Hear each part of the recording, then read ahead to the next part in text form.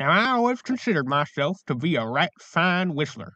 Real smart good whistlin' I thought I did.